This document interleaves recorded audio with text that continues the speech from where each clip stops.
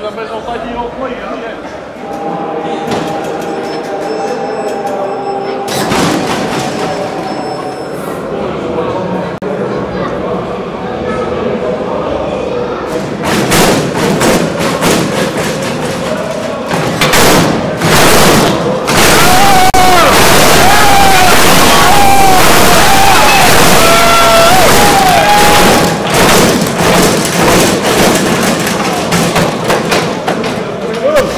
Alles braaf.